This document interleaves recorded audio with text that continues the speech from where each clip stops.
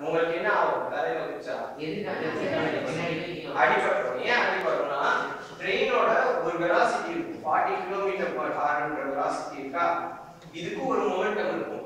இந்த மொமெண்டம் தான் நம்மளுக்கும் இருக்கும். ஏன்னா நம்ம அதுக்குள்ள உட்காந்து பயணிச்சுட்டு இருக்கோம். கரெக்டா ஆனா இப்ப நீங்க வெளியில குதிச்சீங்கன்னா என்ன ரெ- தலை என்ன கண்டிஷன்ல இருக்கு? ரெஸ்ட் கண்டிஷன்ல இருக்கு. அப்ப அது ஜீரோ கிலோமீட்டர் பர் ஹார்ல இதோட மொமெண்டமும் நம்மளோட மொமெண்டமும் மேட்ச் ஆகாது கரெக்டா மேட்ச் ஆகாதனால என்ன ஆகும் நம்மளுக்கு அடிப்படும் அதனால சம் ரியாக்ஷன் ஏற்படும் இதே மொமெண்டம் வேற மாதிரி எக்ஸ்பிளைன் பண்ணணும்னா இப்போ நம்ம ஒரு ட்ரெயின் ஃபார்ட்டி கிலோமீட்டர் பர் ஹார்ல போகுது இன்னொரு ட்ரெயின் நம்ம பக்கத்துல வந்து ஒரு ஃபார்ட்டி கிலோமீட்டர் பர் ஹார்ல சேம் ஸ்பீட்ல போயிட்டு இருக்குன்னு வச்சுக்கோங்க இப்போ இந்த ட்ரெயினும் இந்த ட்ரெயினும் கதவை திறந்துருக்கு இந்த ட்ரெயின்ல இருந்து அந்த ட்ரெயின் குதிச்சிங்கன்னா என்ன ஆகும்? ரெண்டு ட்ரெயினும் பேரலா போகும். எதிர்காத்து கண்டிஷனே விட்டுறா. ரெசிஸ்டன்ஸே ரிலீவ் பண்ணிருங்க general concept of ideal condition பாக்குறாங்க இப்போ இந்த ட்ரெயின் வந்து எதுவும் ஆகாது. ஏன்னா இது என்ன மொமெண்டம்ல இருக்கோ அந்த ட்ரெயினும் அதே மொமெண்டம்ல தான் போயிட்டு இருக்கு. கரெக்டா அதனால எதுவுமே ஆகாது. இதுல இருந்து என்ன கான்செப்ட் கொடுக்கலாம்னா ஒரு ஆப்ஜெக்ட்ல நம்ம டிராவல் பண்றோம்னா அது என்ன மொமெண்டம் இருக்கோ அதே மொமெண்டம் தான் நம்மளுக்கும் இருக்கும். புரியுதா கான்செப்ட் சரி. இந்த மூணு லாவையும் நான் முடிச்சிருவேன் அதுக்கு சம்மந்தப்பட்ட ப்ராப்ளம்ஸ் அதில் போகலாம் செகண்ட் லா முடிஞ்சிச்சு. தேர்ட் லைன் வந்து எல்லாத்துக்குமே ஃபேமஸ் opposite reaction. இதுக்கு பெஸ்டான எக்ஸாம்பிள் ஏதாவது சொல்லுங்க.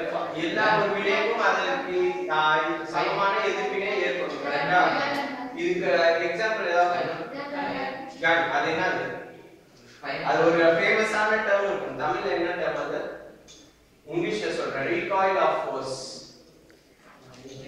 கரெக்டா பின்னோக்கு விசை பின்னோக்கு விசை ரீகாயில் ஆஃப் ஃபோர்ஸ் அந்த ரீகாயில் ஆஃப் ஃபோர்ஸ் என்ன கான்செப்ட் தெரியுமா? ஷோல்டர்ல வச்சு இங்க வச்சு தான் ஷூட் பண்ண சொல்லுவாங்க எதனால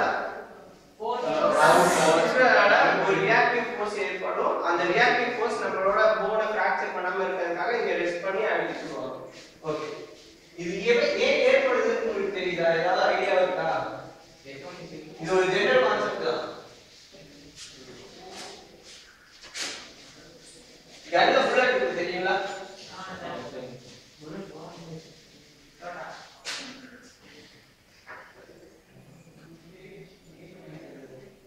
இப்படி இருக்கும் கரெக்டா இப்ப அஹ், இது படத்துல நிறைய தடவை பார்த்திருக்கேன். ஆ, இப்படி இருக்கும். இப்ப என்ன அப்படி இந்த நம்ம இப்ப சுடுறோம்னு வச்சுக்கோங்களேன். சுடும்போது இந்த என்டையர் பார்ட்டுமே போய் ஒரு எதிராளியை தாக்குமா? இல்லாட்டினா இதுல இருந்து ஏதாவது ஒரே ஒரு பார்ட் மட்டும் போய் அடிக்கும் அது எந்த பார்ட் இது மட்டுமா? ஓகே இந்த கான்செப்ட் சொல்றேன். புரிஞ்சுக்கோங்க. சப்ஜெக்ட் ரிலேட்டட் கொஞ்சம் ஜெனரல் ஸ்டஃப் தெரிஞ்சுக்கணும். இந்த முன்னாடி ஒரு பார்டர்ஸ் மாதிரி இருக்கும். சின்னதா சரியா? இதுக்குள்ள என்ன இருக்கும்? கன் பவுடர்ஸ் இருக்கும்.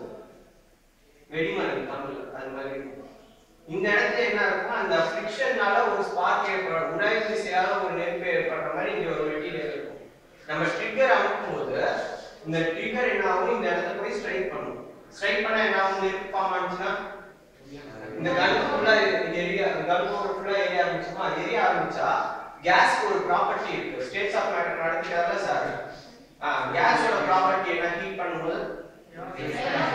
எவாபரேட் ஆகுங்கிறது ஓகே கைண்ட் ஆஃப் எக்ஸ்பான்ஷன் ஆகும் கரெக்டா சோ இதுதான் சாலிட் ஸ்டேட் வந்து இப்ப வேப்பரைஸ் ஆகும்போது கேஸ் ஆகி கேஸ் வந்து எக்ஸ்பேண்ட் ஆக ஆரம்பிக்கும். எக்ஸ்பேண்ட் ஆகுறது என்ன ஆகும் சும்மா கம்ப்ரஸ்டான சின்ன இடங்கள்ல இருக்கு சின்ன இடத்துல எக்ஸ்பேண்ட் ஆகும்போது அதிக ப்ரெஷரைஸோட இது தள்ளும் கரெக்டா சோ இது அதிக ப்ரெஷரைஸோட தள்ளும் போது ஓரளவு ப்ரெஷர் இப்படி எஸ்கேப் ஆகும். ரிமைனிங் ப்ரெஷர் என்ன ஆகும்? பேக் பிரஷர் கேள்விப்பட்டிருக்கீங்களா? Solid state states of matter வந்திருக்கா? பேக் பிரஷர் ஒரு டேர்ம் இருக்கு. அந்த பிரஷர் வந்து ஈக்குவலைஸா பின்னாடி ஒரு பிரஷர் கிரியேட் பண்ணும். அதனால தான் அந்த ரீகாயில் ஆஃப் ஃபோர்ஸ் ஏற்படுது. ஓகேவா புரியுதா கான்செப்ட் ரீகாயில் ஆஃப் ஃபோர்ஸ் ஏன் ஏற்படுதுன்னு? இது அந்த அளவுக்கு தேவை சும்மா தெரிஞ்சு வச்சுக்கோங்கன்றதுக்காக தான் ஜென்ரலாக சொல்றது இதுக்கப்புறம் இதுக்குள்ளே பல டேர்ம்ஸ் இருக்கு. சரி ரீகாயில் ஆஃப் ஃபோர்ஸ் வேற எக்ஸா- வேற ஏதாவது எக்ஸாம்பிள்ஸ் சார் ஒரு பலூன் கட்டி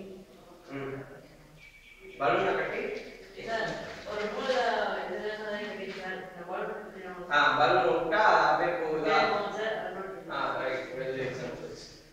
ஜெனரல் பிராக்டிகல் எக்ஸாம்பிளா சொல்லுங்க இது வந்து எக்ஸ்பெரிமெண்டல் எக்ஸாம்பிள் பிராக்டிகல் எக்ஸாம்பிள்ஸ் அதே இப்படி நேரா திருப்பி வச்சுனா என்ன வரும் மேல போகும் அதான் ராக்கெட்டோட எக்ஸாம்பிள் ராக்கெட்ல அது வந்து ஃபியூயல் பர்ன் ஆகுதா ஃபியூயல் பர்ன் ஆகி அது ஒரு ப்ரெஷரா வேப்பரைஸ் ஆகி வெளியில வரும் ஆவியாகி வெளியில வருது அதே மாதிரி கம்ப்ரஸ்ல இருந்து எக்ஸ்பாண்டட் ஸ்டேட் வரும்போது கீழே ஒரு ஃபோர்ஸ் கொடுக்கும் அந்த ஃபோர்ஸ் பேர் என்ன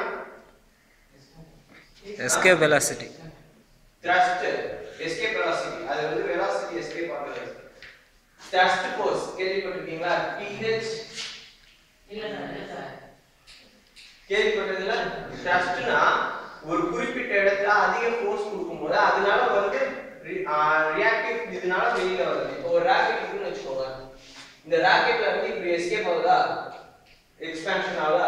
அது என்ன பண்ணும்? இந்த இடத்துல ஓரளவுக்கு கம்பல்ஸா அதை அடக்கிட்டு இருக்கும்.